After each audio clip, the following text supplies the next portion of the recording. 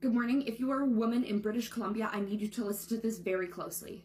It was the RCMP's response to this viral video that drew criticism after asking people to stop spreading rumors about attempted abductions. They came out today apologizing for what was seen as an insensitive response. Certainly, that language was not meant to dismiss, nor was it meant to upset or anger anybody.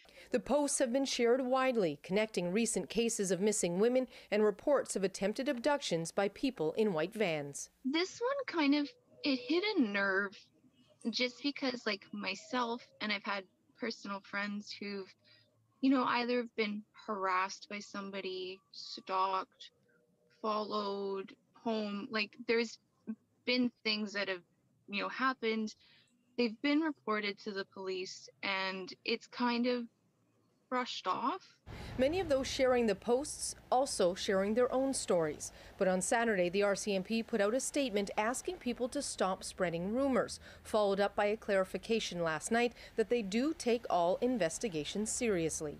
They may not necessarily be connected, and I understand their perspective, you know, from that aspect of it, but I don't think it's fair to be so dismissive of it and say that, you know, people are fear mongering.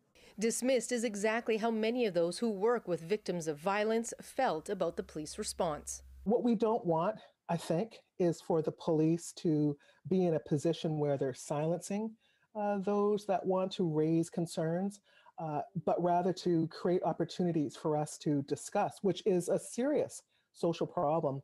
To a social problem that the, the, police have a very, very bad track, track record, both in terms of how they investigate um, and whether or not victims and survivors are believed. You know, the idea behind issuing those statements was to try to alleviate some of the social media frenzy that was going on, trying, you know, really causing people great distress. The RCMP is now trying to reassure the public, saying they have looked into the cases of missing people and found no links so far. As far as abductions in white vans, they are investigating allegations of a man being forced into a white van and three other incidents. People reported a suspicious white van, but there was no interaction between the people uh, and the person inside the van. And so, I mean, there's there's nothing to indicate that there was any abduction that occurred or even any attempted abduction occurred.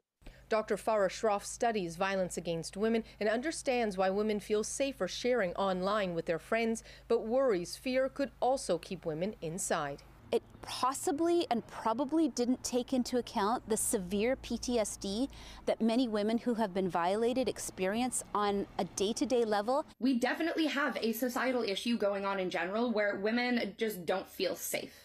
The woman who made one of the original posts declined an interview, but says she is glad the videos have sparked a conversation about the fears women are experiencing. Susana da Silva, CBC News, Vancouver.